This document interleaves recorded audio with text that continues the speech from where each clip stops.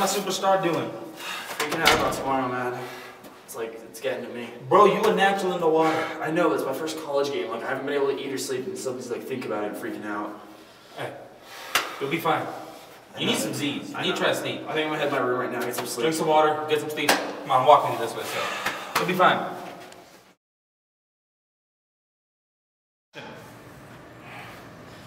Oh, uh, what, Lou? What the fuck are you doing? What are you talking about? You, you little bitch! Shit, I'm.